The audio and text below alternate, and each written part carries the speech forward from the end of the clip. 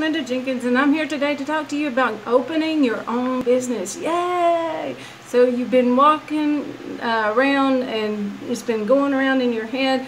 Oh, I want to open my own business. I want to be able to be my own boss. I'm tired of that old nine to five and I'm wanting to have more out of life. Well, today we're going to discuss how for you, how you can get your own business and where to go and who to talk to to get additional help and stuff like that.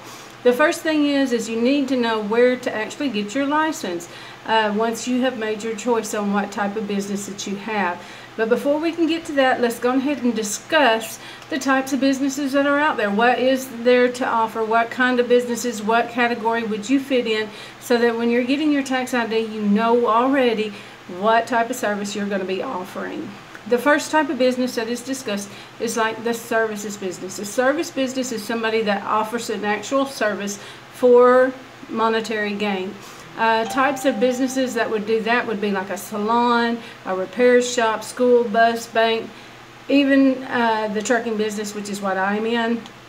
Uh, the next one is a merchandising business. A merchandising business is where you actually sell an end product, say like Walmart, um, uh, grocery stores, stuff like that, convenience stores, stuff that actually sells an end product. The next thing is a manufacturing business. A manufacturing business is somebody that produces a product that is going to a merchandising business that will actually be selling that said product.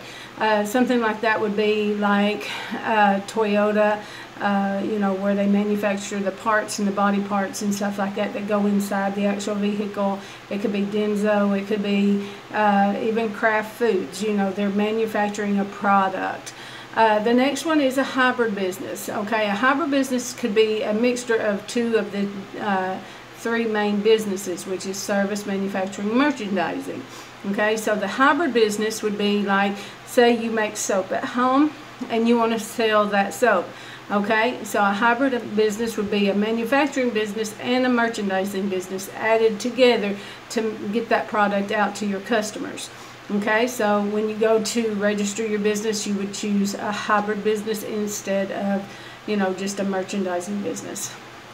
Now, once you do this and you get it uh, ready to get off the ground and everything, remember uh, the step that you need to do prior to that. You need to actually make sure that on your business uh, cards, your electric, your water, your sewer, anything uh, that is related to the manufacturer or the operation of your business, those now become tax deductible.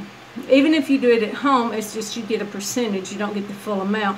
But if you have an actual office or an actual location that is away from your actual home, then anything that is used in that other one, 100% you can use it as tax write-off, you get tax deductions, and congratulations, you know, I'm just so happy for you guys. If you have decided to make the next step, uh, please feel free to uh, give me an email, give me a text message, uh, private message me. You can either do that below or to the side, whichever one you have. Uh, there's also a subscribe button, hopefully up here at the top uh, or a join button down at the bottom. Please feel free to join my uh, my uh, pages and become part of our tribe. I'd love to help you get off the ground and see your dream come true where you can actually be that business owner that you've always wanted to be. Congratulations for making this step. And if I can help you along the way, please feel free to contact me at any time. Thank you, and y'all have a wonderful day. Mwah.